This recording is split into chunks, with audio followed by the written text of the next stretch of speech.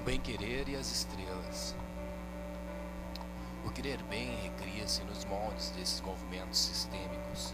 Imerso no universo do amor, o distinguir é para poucos amantes.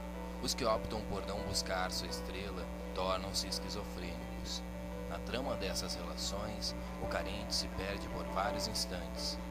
Mas não há dúvida que ocorre uma superafetação recíproca de fenômenos. Entre tais fenômenos, a convivência com outros seres se fortalece. Nesse intercâmbio de experiências e calores, não se pode querer menos, mas tudo depende das estrelas que se encontram nessa complexa surface. A vastidão de possibilidades faz com que encontros de estrelas sejam fúteis. Para algumas pode ser muito intenso, mas não passavam de cometas.